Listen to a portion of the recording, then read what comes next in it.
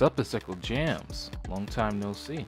Looks like I'm getting back into the flow of things, and I have lots of stuff planned this week. I'm set to stream with the Steam Next Fest games.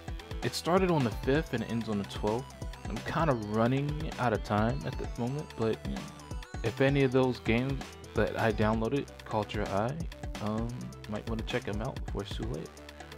Also, I plan to have lots of streams in the future and lots of stuff planned. I bought some games on sale, and I've also been playing a lot of Palworld lately, but I haven't had the time to stream it until now. So, yeah, I'll um, be uh, waiting to do that soon. Plus, I've been working on some music. I'm pretty much stacked for this week. And with that, I'm pretty much done for now. It's the Sickle Jams, and I'm out.